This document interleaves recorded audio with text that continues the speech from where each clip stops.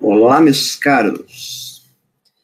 No vídeo de hoje nós vamos falar sobre como é que a gente faz para maximizar uma derivada direcional. Ok? E isso vai ser via um teorema. O teorema é o seguinte: vamos pegar aqui uma função que seja diferenciável, né? Que a gente quer pegar derivadas dela, derivadas parciais. E pode ser com duas variáveis, pode ser três variáveis. Na verdade, pode ser qualquer quantidade de variáveis. E aí, o valor máximo de uma derivada direcional, quando você olha em, em, todos os possíveis vetores, em todas as possíveis direções, vai ser igual ao módulo, a norma do gradiente, ok?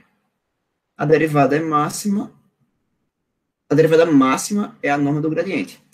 Além disso, o, esse valor vai ocorrer quando o, o vetor U, que está aqui embaixo, né, na derivada direcional, ele é exatamente o vetor que aponta na direção do gradiente. Ok? Lembrando que o vetor tem que ser unitário, mas ele pode apontar em qualquer direção, né? Vamos pegar a direção do gradiente. Essa é a direção que, que maximiza, ok? Essa é a direção que maximiza o valor da derivada direcional. Beleza. E como é que a gente, eu, como é que a gente usa isso, né? Vamos ver aqui um exemplo. O exemplo é o seguinte. Pega uma função xy, que é x, é a y, e ele quer determinar a taxa de variação no ponto f na direção opa, desculpa, a taxa de variação da função f no ponto P, que é o, zero, que é o 2, 0, e na direção de P aqui, ok? Na direção de P aqui. Então, a primeira coisa que a gente vai precisar fazer é encontrar esse vetor, né, que liga o P aqui. Não a primeira coisa, né, mas uma das coisas que a gente vai precisar fazer. Eu acho que eu vou começar derivando essa função e encontrando logo o gradiente, né? E para usar aquela fórmula da derivada direcional. Vou derivar aqui no ponto genérico, del f, del x, vou derivar já no ponto 2, 0. Vou derivar no ponto genérico não. Vai ser igual a derivar isso tudo em relação a x, que é e elevado a y, né? é elevado a y. No ponto 2, 0, o 2 não aparece, vai ficar só o 1 aí. Porque não tem entrada x, né? E a entrada y é 0. Então, fica elevado a 0, que é 1. Agora, derivar em relação a y, del f, del y, no ponto 2, 0, vai ser, derivar em relação a y é x é elevado a y, x é tratado, é tratado como constante, vai ficar o próprio elevado a y. x é elevado a y. Então, no 2, 0, vai ficar, se o x é 2 e o y é 0, isso aqui resulta em 2. Então, temos o gradiente del f, nabla f, né? Ah, o nome do, do símbolo do gradiente é nabla, tá, gente? O nabla no 2, 0, nabla f no 2, 0, vai ser igual a o vetor com entrada 1 e entrada 2. Então, temos a, a, o vetor gradiente aí. Agora, a gente quer determinar a taxa de variação na direção do P para o Q. Então, vamos determinar esse vetor aí do P para o Q. Você tem que o vetor PQ é igual a entradas de Q menos entrada de P. Entrada de Q menos entrada de P. Que é o vetor. Hum, deu menos 3 meios, né? Menos 3 meios, 2. Ok? Menos 3 meios, 2. Esse é o vetor. Só que a gente quer o versor unitário nessa direção. Então, vai ficar chamado de U para usar a notação que a gente tem na derivada direcional, e vai ser o PQ sobre norma de PQ.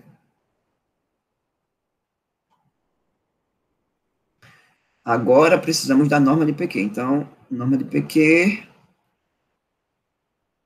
vai ser igual a raiz quadrada de 3, menos 3 menos ao quadrado, que vai dar 9 quartos, mais 2 ao quadrado, que é 4. 4. 4 é 16 sobre 4, né? Vou deixar assim, 16 sobre 4, viu? Ok? Esse 2 ao quadrado deu 4, que é 16 sobre 4. E aí, e aí, isso aqui é a mesma coisa que 25 sobre 4,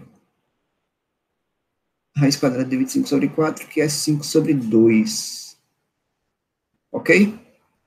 Então, essa é, esse é o vetor, é, o, é a norma do vetor, né? E aí a gente quer o vetor unitário, vai ser menos 3 meios sobre 5 sobre 2, vai ficar menos 3 quintos e 2 sobre 5 sobre 2 vai ficar 4 quintos. Então, temos o vetor unitário e temos o gradiente. Para calcular a derivada direcional, a taxa de variação é derivada direcional. A taxa de variação é sempre derivada, tá? Isso daí já é usual do cálculo, né?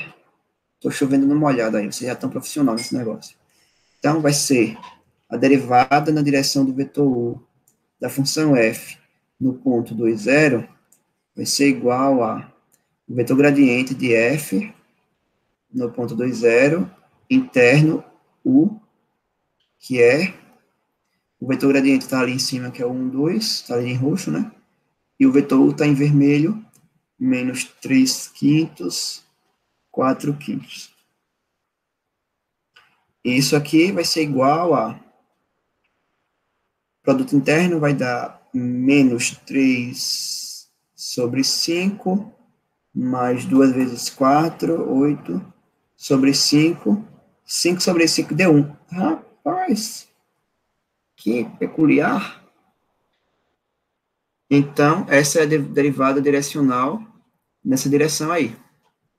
Agora, você quer, ou pelo menos o exercício quer que você queira, saber em que direção você tentar chamar.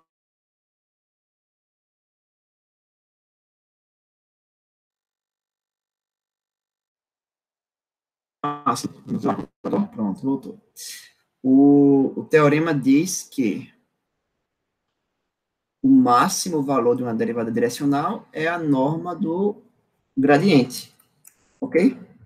Se é a norma do gradiente, então a direção que sair é máximo é a direção do gradiente. Então, se quer no ponto 2, vai ser o, a taxa vai ser máxima na direção do vetor 1, 2 a direção do vetor gradiente, tá? Ele só pergunta a direção, né? Mas se além disso ele perguntasse qual é o valor máximo, a gente ainda poderia calcular, né? Que o valor de, máximo da derivada direcional vai ser a norma do gradiente, 2, 0, que é igual a norma do vetor 1, 2, que é igual a raiz quadrada de 1 quadrado mais 2 quadrado. 2 quadrado é 4, né? Vou colocar 4 aqui. Todo mundo passou no Enem. Isso aqui vai ser raiz de 5. Esse é o valor máximo do... Esse 5 ficou estranho, né? Raiz de 5. Esse é o valor máximo de uma derivada direcional. E ela acontece quando o vetor u é o vetor é o versor do gradiente, ok?